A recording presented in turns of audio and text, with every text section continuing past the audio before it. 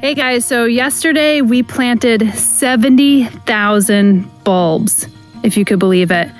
But we had some recruits to help us out because there was no way we could actually finish it in one day by ourselves. In early October, we got our big delivery of 70,500 bulbs straight from the Netherlands.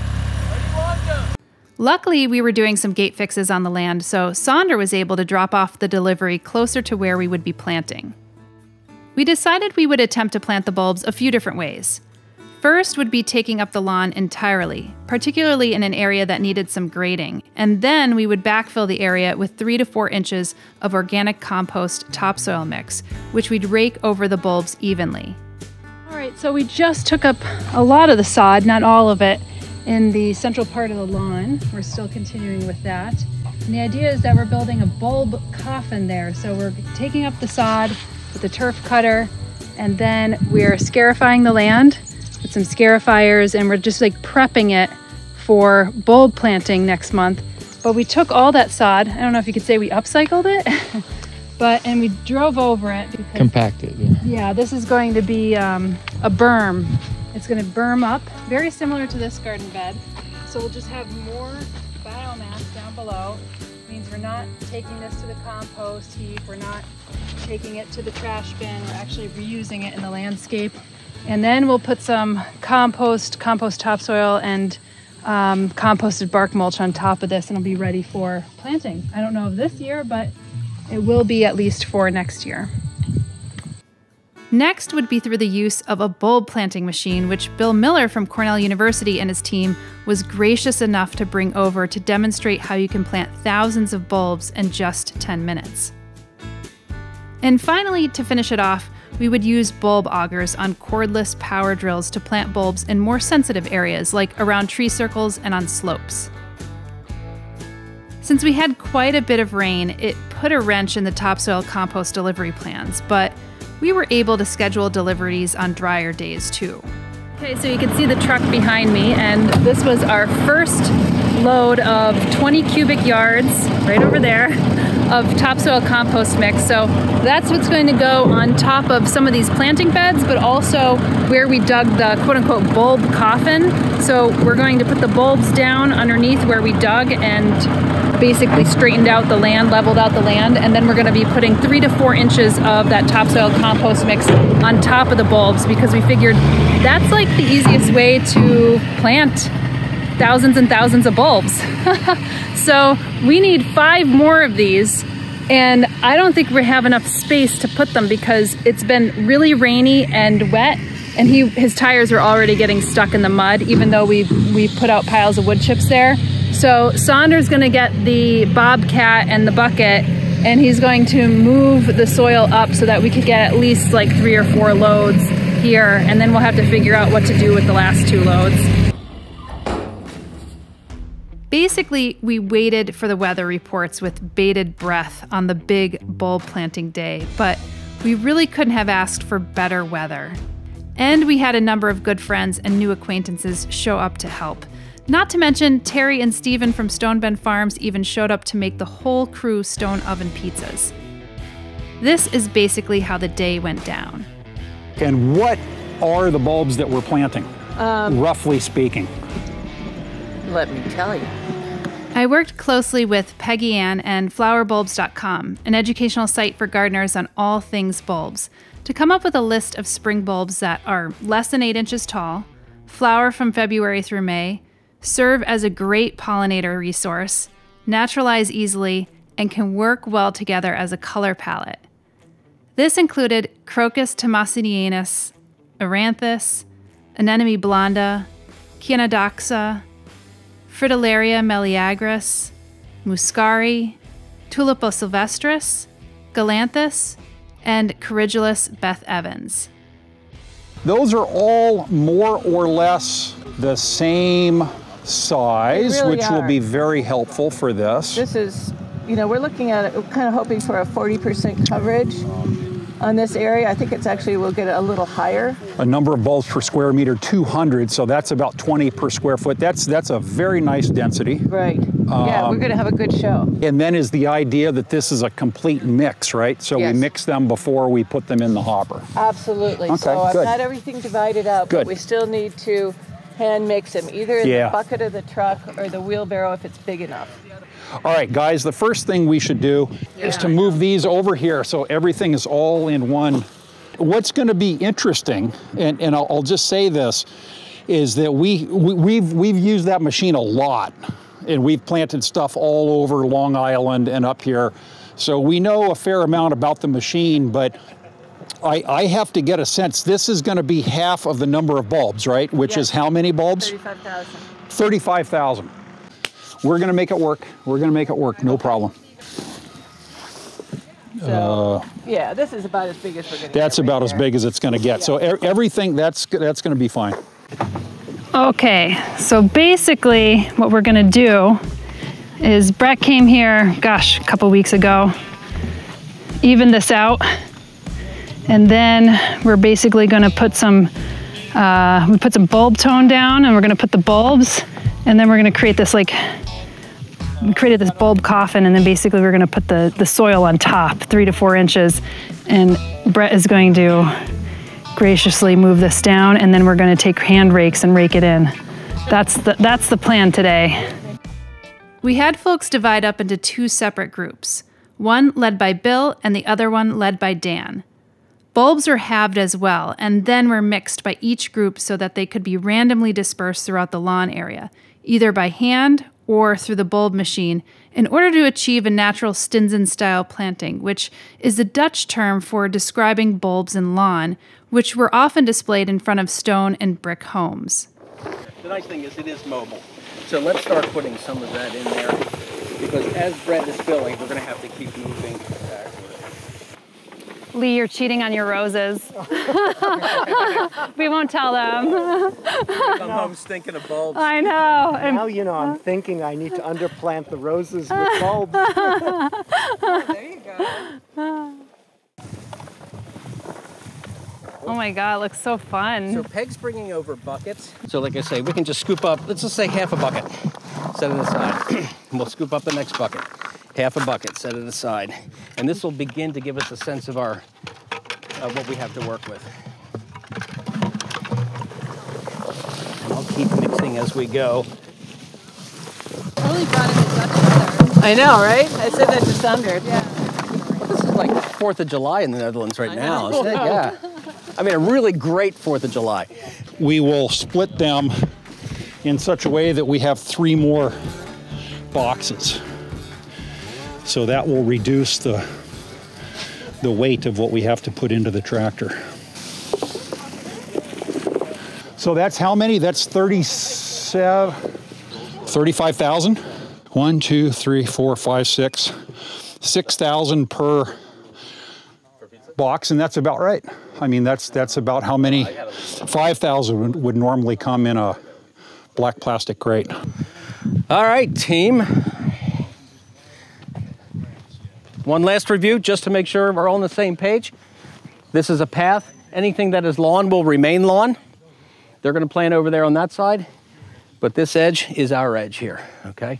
Path, bulb bed, let's hit it.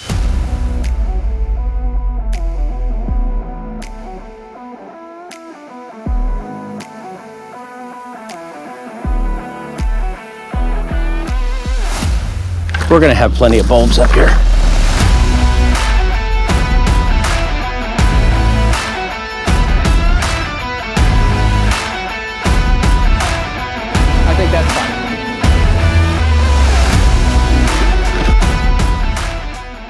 Right, steel rake time.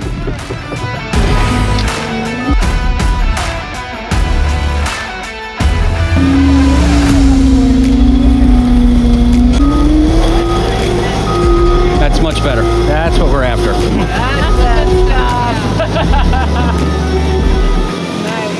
What we're doing here is, since we're planting so many bulbs in this area, rather than drilling hundreds, actually thousands of holes to plant these bulbs, we're doing it on masse.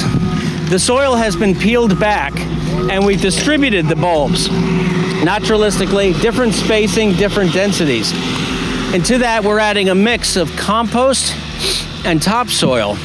Nice light, and we're raking a grade about three or four inches over top of that, which would ideally be the depth that we would be planting in, into the ground. But just because we have a good team here, we've got a lot of bulbs and a lot of area to cover, we're doing it in this sort of mass production style, but still mass production by hand. And, what's the density of bulbs you want? Because if I look at this area here, mm-hmm. is that about enough? Like or- That is enough for what for what we're after. We're aftering a natural dispersion. Okay. Nature doesn't plant in straight lines. Nature doesn't plant consistently. Nature varies, and we're trying to replicate nature in that way. And in the next few years, as some of these bulbs begin to seed, that dispersion, that density will change. It's a dynamic project right here, and over the next few years, frankly, the next potential hundred years, it's continue, going to continue to change. A Little, a little bit. Give me about a quarter of that. That's good. But Brett, in general, I think you're okay.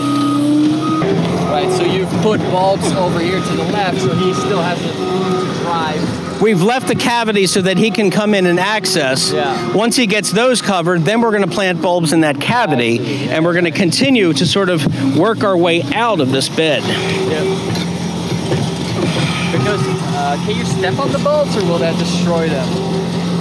We can step on the bulbs if necessary. And actually, that piece of equipment, by virtue of those very large tracks, despite its weight, has a very gentle footprint. So, as long as we are gentle in the way we step on the bulbs, a human, it's absolutely fine. Even that equipment, straight line is fine. It's when you begin to move, that's where the crushing action happens. But basically, this is a small bulb on soft ground, and certainly when the grade is on top of it, there's no problem at all. That gets this up to about 10. Yeah, no, that's great. Uh, it's better. it's a lot better. Yeah, okay, good, good. It, it's always interesting estimating the numbers. What was described to me is the exhibition density of bulbs is, is that's beautiful, but it's sometimes more than what you necessarily need for a nice ecological impact. Yeah, I think you're right. yeah. So what we're kind of going So- for is a 40% coverage Yeah. for this first year, which Yeah. is a big, Yeah. it's a big show. yeah, Uh, oh, it's going to be these- fantastic. Yeah, and all of these uh, will multiply quickly. I propose that we start in this area Okay. first because they're working over there and these uh, hills of soil, maybe they get Yeah. knocked down in the meantime. So we'll start here first. Yeah. Yeah. Okay, so Luke, we need the tractor over there so we can load in five crates of bulbs into, into the. Uh, So exciting. this is so exciting. I don't know what we're going to do. My, my big take on this is that this is really special because bulb people hardly ever see mixes of bulbs. I know. You know, the, the, the big time uh, forcing exporters, Right. it's all monoculture. It's all, and that's fine, It's but it's all one kind of tulip. But these, these things are just, this is fantastic. Yeah, Beautiful. it really is. Uh, we, no, we can't start loading things yet because I have to go get the, uh, the gate. The gate. I started my Advil drip last night.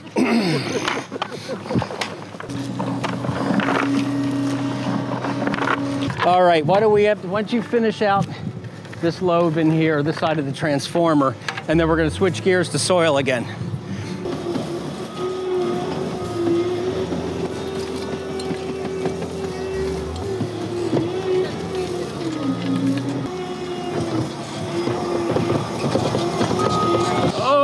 God, Jesus, God, Luke, get on it, Luke. Oh.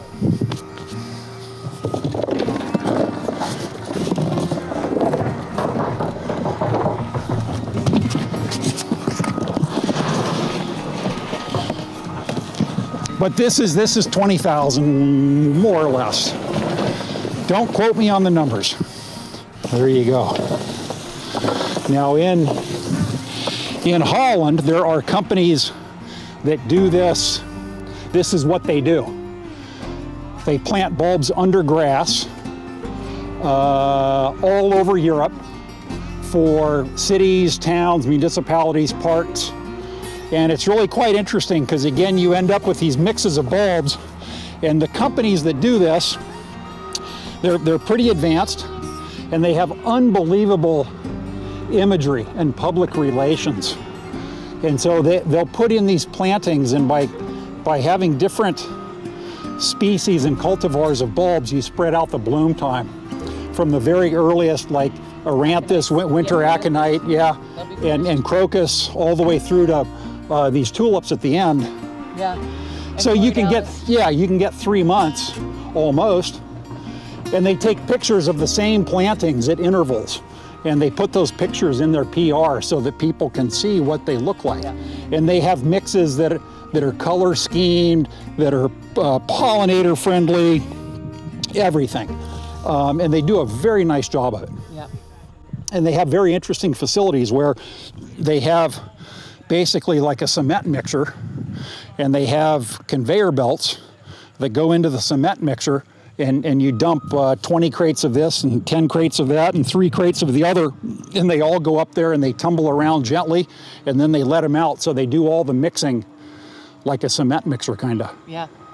And you know, and It's really neat thing is, interesting. People can do this at home too. You don't Absolutely. have to do it with the you know tens of thousands. No. This is great under st- deciduous trees and shrubs where they're yep. going to get the light early, and you you know if you they don't have to mow it, you know, Exactly. until the end of June.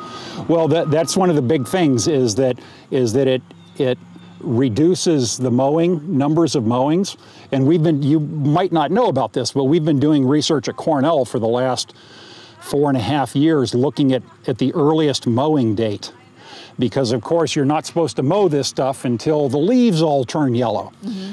But it turns out that you you can mow things earlier than that with without without affecting future years flowering. That is so, new research. So we, we have trials where we have mowed for three years running, and this year was the was the third year of return flowering after mowing treatments the year before. I need to read this. Well, you you yeah yeah I can I can certainly it's it's really quite interesting and Yeah, and when you say mowing, how how tall are you leaving the grass? Well, when we when we mow, we we mow to be fairly tall because we don't have refined turf grass where these these two particular trials are. So we probably mow about three inches tall. But the reality is, when, once you mow a bulb, the, the, these crocus, you know, when they when they flower, a crocus leaf is only four or five centimeters, couple three inches long, and by the time it gets time to mow it, you know, it's it's like this. So the the height of the mowing, I don't think has any effect on on how the bulb perceives that. I think once it's been mowed, it's all over. Yeah. And then, of course, the other thing are the pollinators. You know, you uh, you know the crocus and, and other really early things because it's a it's a turf grass is it's a desert for pollinators. Right. And I see this So- in my own yard. I mean, they start early. They are all over the crocus. They're all over the snowdrops. Um, they love the anemones. They are Yeah, all over the yeah. place, and they need food early. And these are the earliest things. Th- to This is the earliest th- stuff that's out there for Yeah. sure, for sure. And for me, it's uh, food for the soul, man. I, I need to see these to know spring's coming. Yep. Yeah. And and like you said about homeowners, you can do this easily with these bulb augers. Yeah. and and a good a good DeWalt uh, cordless drill, you know, a 20 volt drill, it will it will make a couple hundred holes e- even even on one of those small batteries. Yep. So it, it's a really effective way to do this. Yeah, we use Power Planter. They're made in America. Yeah, power, really pow- good pow- plant- that's yeah. what we have. And I'll tell you what, it's the fastest, easiest way Yeah. to plant bulbs, or you know, uh, annuals or whatever. Yeah. This is just beautiful, huh? Danielle, what do you think? Isn't that fantastic? And these are Fritillaria meleagris. They're, they're a little checkered uh, bulb. Um, they're, they're a small cousin of Fritillaria imperialis, which the crown imperial, which has really tall flowers, yeah. Okay, we should start planting, shall we? All right.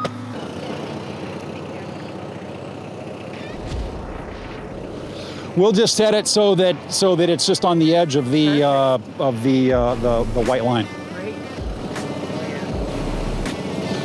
Okay, go ahead, go ahead and open up your gate there, or it is open. Never mind.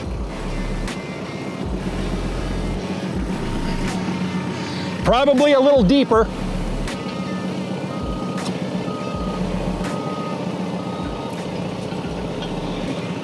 Is is the is the belt working? Okay, we want to have somewhere around 12 or 15 bulbs per foot of travel.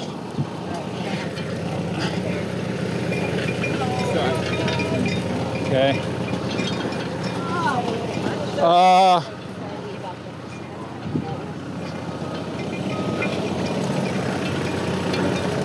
that's good. It could probably be just even slightly shallower. Maybe. Just a little bit.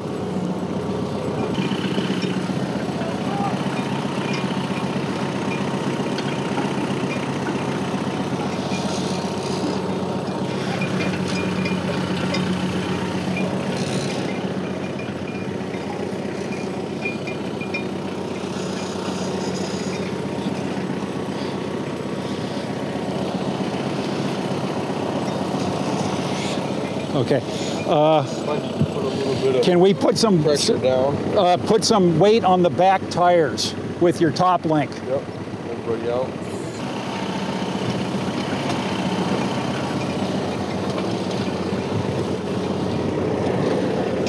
So, Bill, how does this work? Well, this works by this vertical disc slices the turf, and then there's basically a plow shoe with wings that go off to either side, and that lifts the turf up.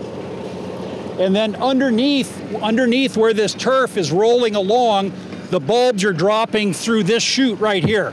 You can't, you can't literally see the bulbs drop because of that chute, but you can see them dropping from the top. And then the wheels at the back uh, press everything back down. And that's how it works.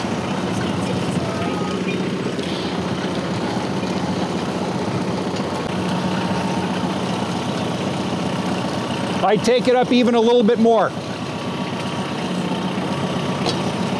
We're going to go over some of the basics involved with augering, or that is drilling holes and planting bulbs in a more conventional way.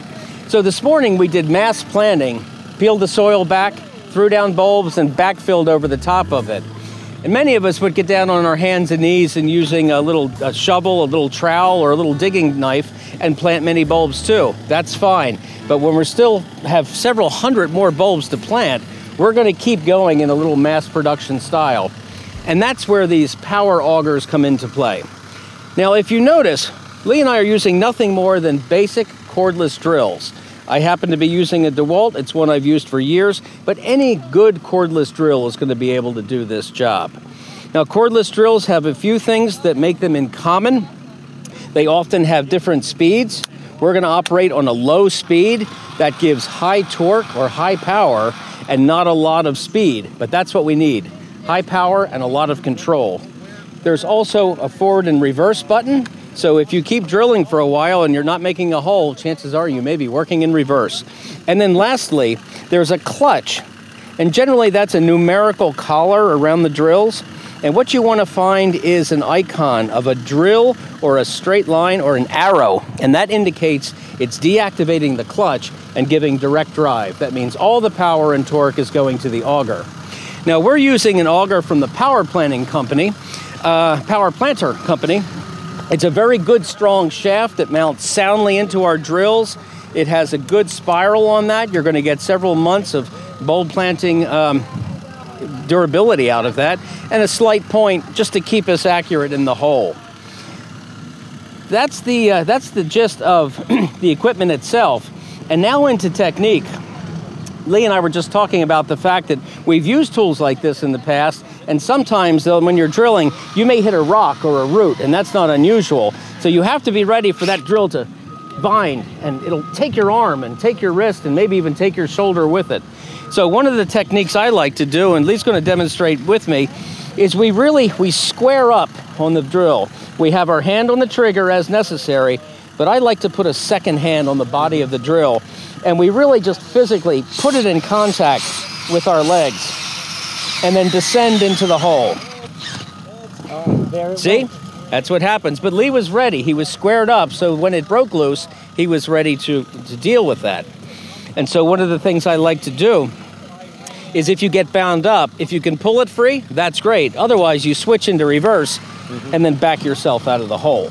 Gotcha. But as we're drilling holes, squared up, soundly holding on to it and ready for it to twist, use my I use my knees rather than my lower back.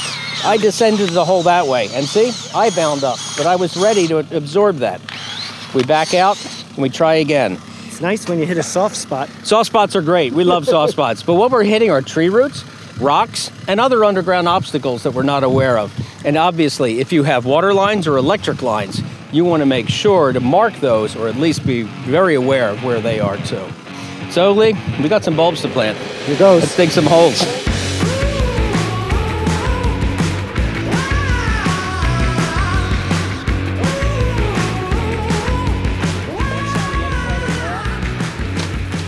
All right, so we're just going to put a little bit of bulb fertilizer in the base of each hole. That's important because the middle nutrient uh, doesn't move through the soil. So we want those in close proximity to the bulbs. That's the middle nutrient. What do you mean by that? The middle nutrient. Most bulbs will have a rating. Excuse me, both fertilizers, bulb fertilizer or any kind, have, have three numbers nitrogen, potassium, excuse me, nitrogen, phosphorus, and potassium. Okay? Uh, it's the middle number. That is the one that really uh, helps with flowering. It's the easiest way to do it. The middle one is for the flower. And we want bulbs for the flowers.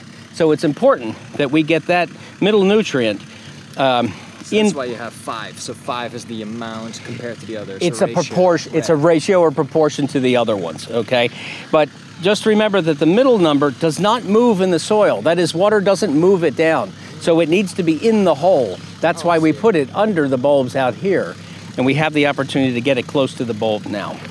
Since we are still working with that naturalizing mix where we have a variety of different bulbs in there, we're going to take a very small handful of an assortment, throw them in. A few in there, another mix. A few in here, another mix. And notice that the spacing on the holes is not regular. It's not in a straight line, and they will vary. And that variation is much more natural looking, and then when they emerge, it will seem natural.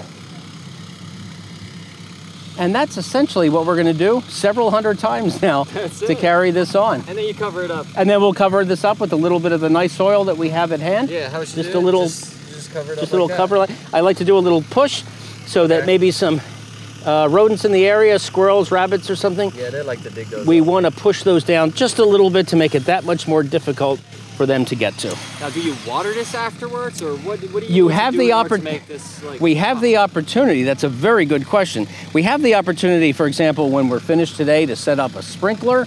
Uh, I think that's the best overhead to sort of settle the soil.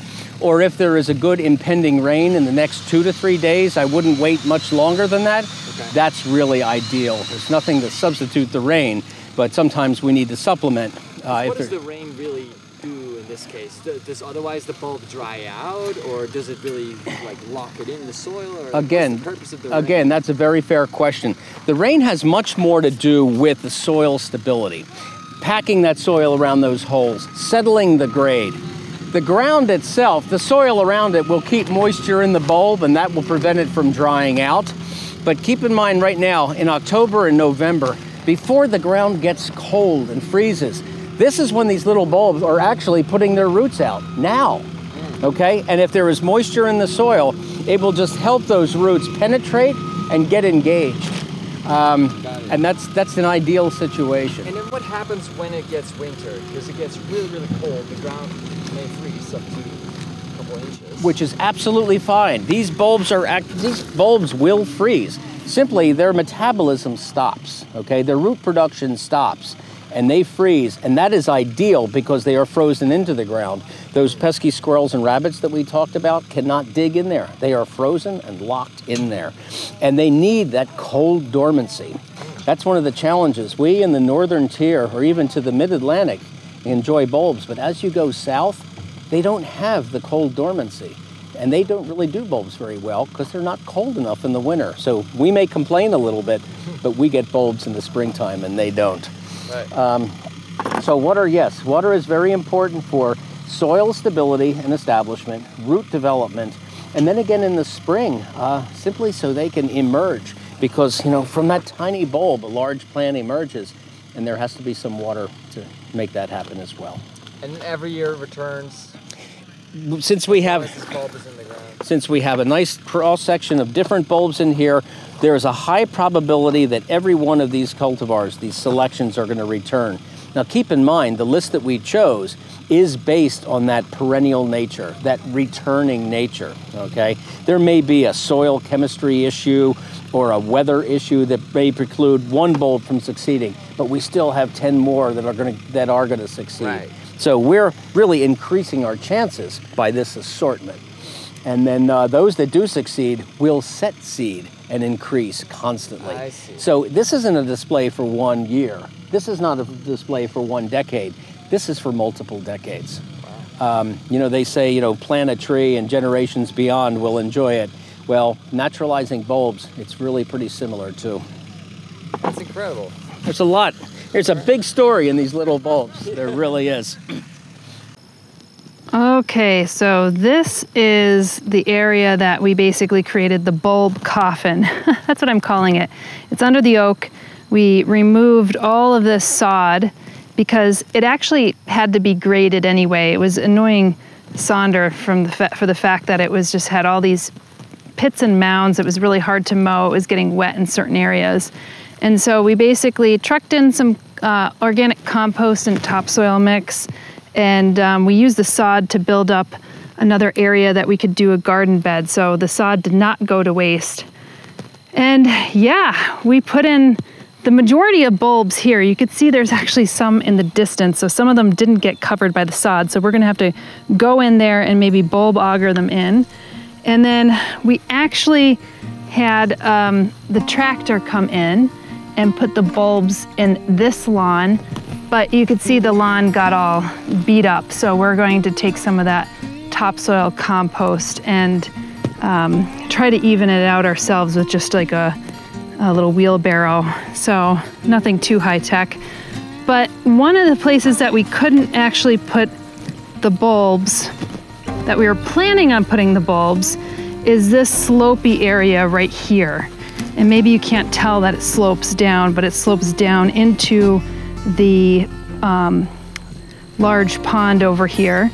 And basically, uh, Luke and Bill, who came with the tractor to do the bulb planting with the tractor, didn't want to tip the tractor. It doesn't do so well on slopes. It only does pretty well on on uh, on a s- flat terrain, basically. So uh, this was not bulbed up. So we're just going to have straight up old lawn right here.